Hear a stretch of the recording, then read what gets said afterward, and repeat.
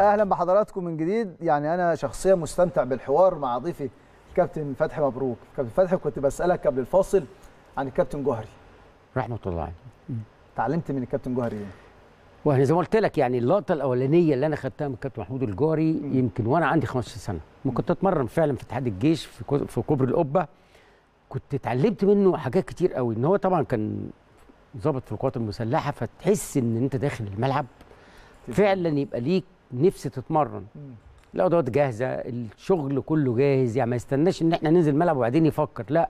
كان دايما قبل قبل التدريب قبل التدريب يبقى مجهز الملعب ومجهز الوحدة التدريبية اللي هنشتغل عليها. كان بيحب المه- مهنته قوي. قوي فدي أنا خدتها منه. يعني الحمد لله كل الفرق لما مسكت فرق.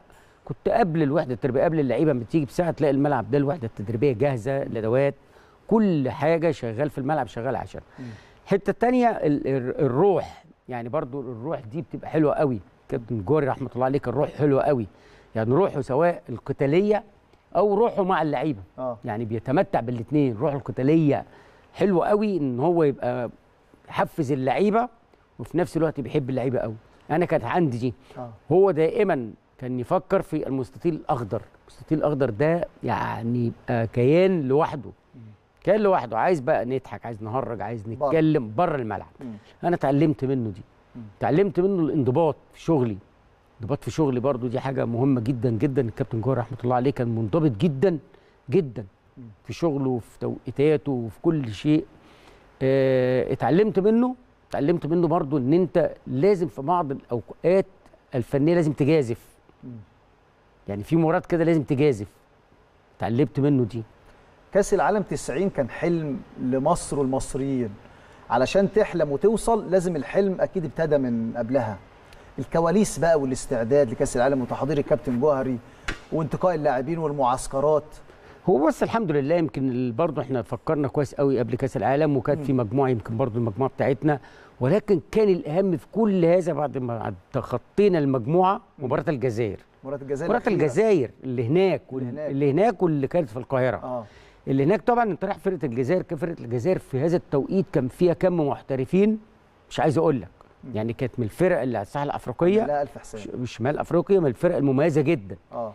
فإحنا كنا رايحين هناك رايحين في جو كمان كان في جو متوتر جدا بين بيننا وبين الجزائر في هذا التوقيت أو بيننا وبين منتخب الجزائر في هذا التوقيت عشان ما حدش ياخدها ب- بسبب عمل. آه. ليه؟ لأن حد كان كتب في بعض الجرايد إن لازم منتخب مصر منتخب مصر يلعب هذه المباراة بروح أكتوبر.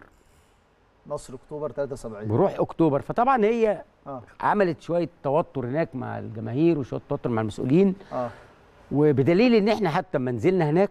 ما نزلنا هناك يمكن مش عايز أقول لك ركبنا الطيارة نزلت مطار ركبنا أتوبيس لن نرى الشارع. وعربيات شرطة ولحد ما دخلنا الفندق الأوتيل.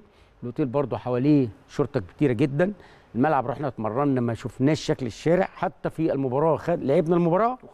وخرجنا على مصر على طول مم. فان الجو كان متوتر يعني الجو كان متوتر كانت مباراه الصعود اللي كانت في مصر هي هي مباراة الصعود بقى دي آه. دي دي اللي كانت مهمة جدا لأن عملنا ماتش كويس جدا هناك اتعادلنا آه وكان الجو هناك كمان يعني الجمهور الجزائري كان محترم جدا شوف رغم هذا الشحن آه المعنوي ولكن الجمهور الجزائري كان محترم جدا جدا والله يا كابتن أسامة.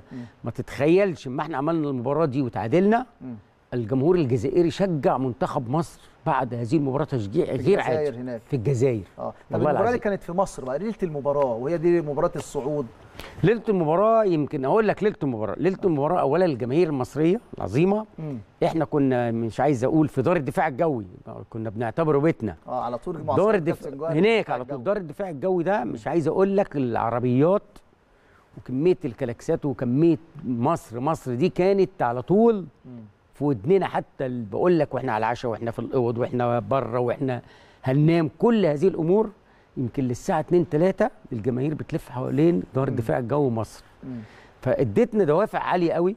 ادتنا دوافع عالية قوي إن إحنا هذه المباراة مباراة خلاص بقى مصيرية. وبتلعب ضد منتخب قوي. منتخب قوي زي ما قلت لك فيه محترفين كتير.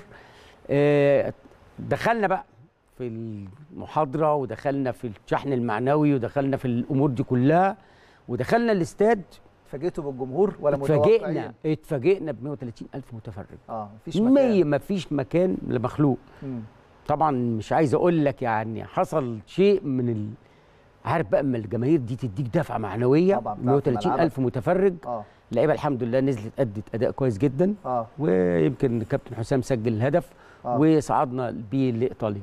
طيب ولما صعدتوا بقى لإيطاليا والمجموعة بتاعتنا المجموعة النارية المجموعة النارية. وهولندا ورود خلت انت عملت إيه لما عرفت إن رود خلت؟ لا إحنا إحنا أول بص إحنا أول ما عرفنا المجموعة المجموعة قوية آه طبعا يعني هولندا كان. هولندا آه. هولندا كانت واخدة بطولة بطولة الأمم الأوروبية آه يعني سنة كام كانت واخداها شوف أنت كانت 88 مم. كانت واخداها 88 بسنتين، آه. قبلها بسنتين. بطولة الامم وكانت بتجمع زي ما انت قلت كم كبير من اللعيبة. منتخب إنجلترا كان كويس جدا. مم. أيرلندا كانت آه يمكن فريق مغمور أو ما كانش أقل المجموعة. أو ما كانش عندنا معلومات كتير عنه. مم. ولكن شوف بقى إن الكابتن جوهري قال لي في ماتش أيرلندا وروسيا. آه. ماتش أيرلندا وروسيا. الماتش ده كان في أيرلندا. قال لي هتطلع الماتش ده تتفرج على أيرلندا وتجيب لي تقرير فني كويس على أيرلندا. كامل عن أيرلندا. طبعا. آه. وفعلا رحت نزلت لندن ويمكن أنت عارف حبيبي كابتن عباس قعود. آه طبعا. كابتن عباس قعود يمكن آه نجم آه. السكواش. آه. وقعدت عنده ليلة وبعد كده خدنا طيارة وطلعنا إيرلندا. وجهزت التقرير. وجبنا بقى اتفرجت على إيرلندا وروسيا. وجيت قلت للكابتن جوهري في هذا التقرير قلت له أقوى فرقة هنقابلها في المجموعة دي. إيرلندا. إزاي؟ وهولندا ليه؟ ومش ليه؟ قلت له لا الفرقتين التانيين بيلعبوا كورة. آه. يعني زينا. فرقة إيرلندا فرقة قوية جدا fitness آه. عالي جدا آه. أجسام ما شاء الله يعني well built كلهم آه عندهم رؤوس حرب مميزة مم. بيلعبوا بال system أو التكتيك الإنجليزي زمان آه. كلها كور طويلة بيحطك في ال 18 آه ولو تلاحظ ماتش إيرلندا إحنا فعلا فعلا يمكن 90 دقيقة كنا نص محصورين في ال 18 في نص الملعب